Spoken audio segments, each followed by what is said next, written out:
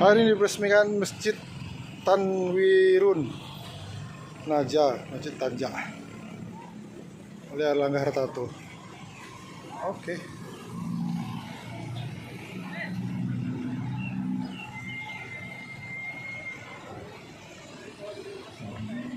Wow.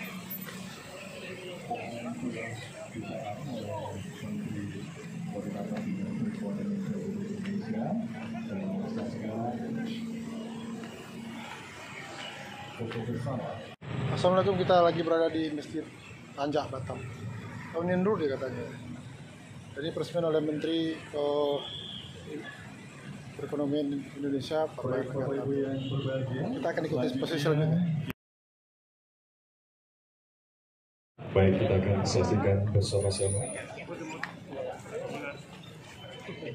penandatanganan prestasi Menteri Koordinator Bidang Perekonomian Republik Indonesia. Bismillahirrahmanirrahim. Kepala BP Pak Wakil Ketua DPR. Bismillahirrahmanirrahim.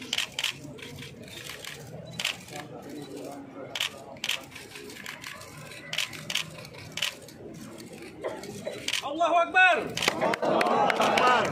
Alhamdulillah dengan rahmat Allah Subhanahu wa taala Masjid Tanwirun Najah telah diresmikan oleh Menteri Koordinator Bidang Perekonomian Republik Indonesia. Potong.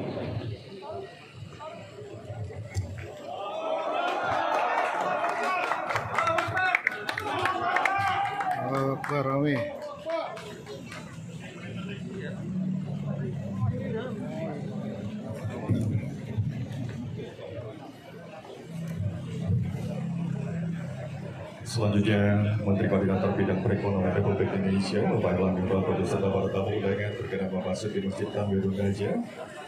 Dan kami silakan kepada Bapak. Iya.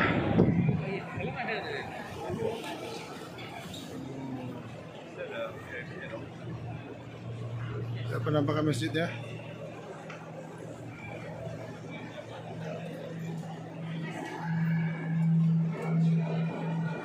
Ah, ada jangan saya. Apa momennya? Kayak daun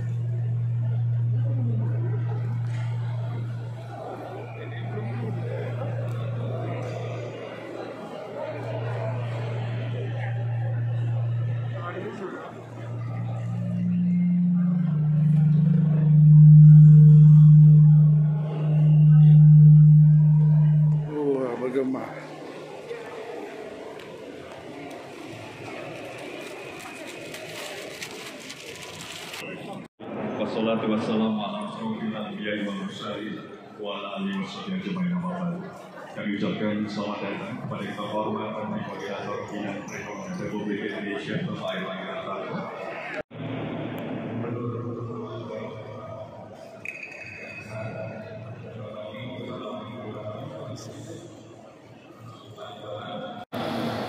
Dan ini uh, berpikir di luar box pembangunan masjid, outside of the box.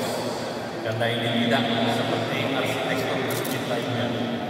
Dan saya yakin ini akan menjadi ikon kota Batam. Dan juga tentu menjadi salah satu destinasi wisata religi yang sekarang sudah marak di Indonesia.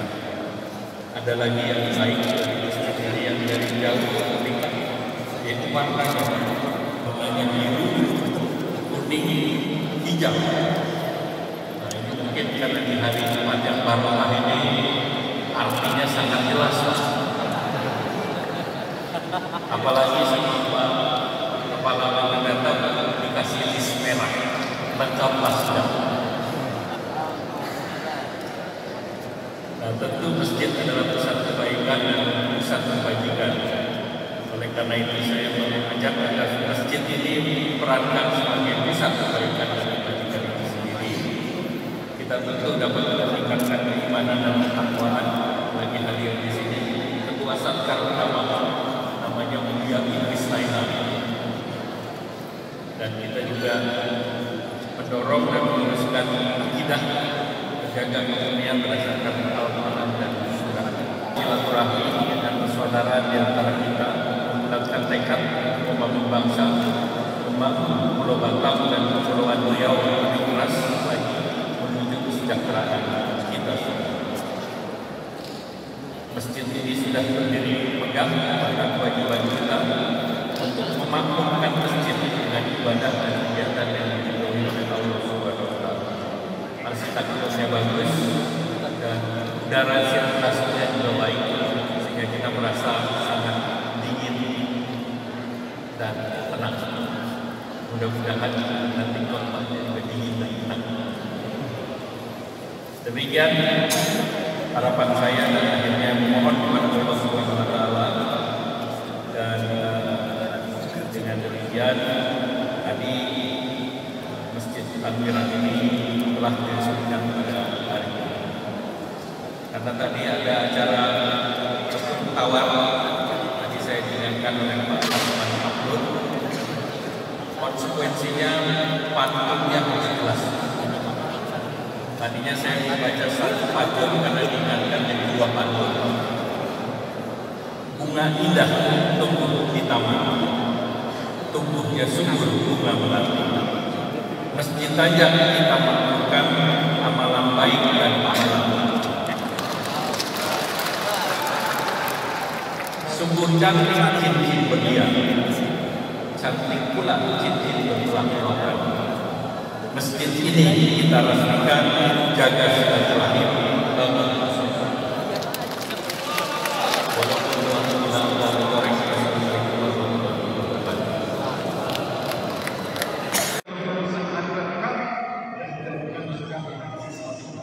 Secara harapan kita ini akan berfungsi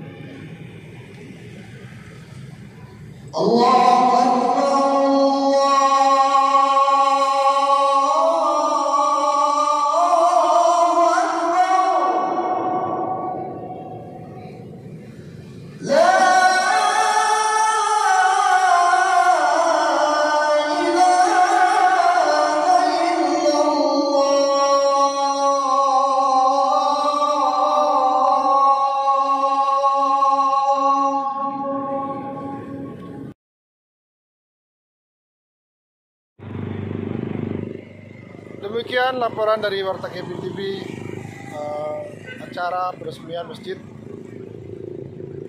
Tan Ri Tanwirun Raja atau Masjid Tanjak yang ada di kawasan Bandara Hang Nadim Batam yang diresmikan oleh Menko Perekonomian Erlangga Hartarto pada hari Jumat tanggal 24 Juni 2022 acara masih berlanjut. Ada rencananya peresmian groundbreaking pembangunan bandara perluasan bandara. Tapi kita sampai hari saat- siang ini setelah maka sholat jumat kita selesai. Terima kasih